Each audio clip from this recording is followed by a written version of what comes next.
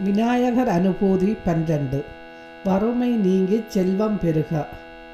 பொல்லா வறுமை புரைசால் கொடுநோய். எல்லாம் ஒழித்தே இணையாண்டிடவே. வல்லாய் வருவாய் வளமே தருவாய். உல்லாசமளிர் ஒருகை முகனே. விளக்கம்.